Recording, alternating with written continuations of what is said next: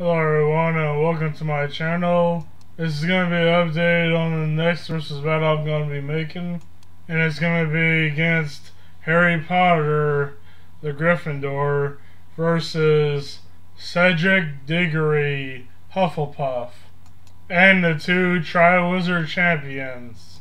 I think that this battle will actually be um, pretty good because both of them are very highly skilled and the most talented in their years.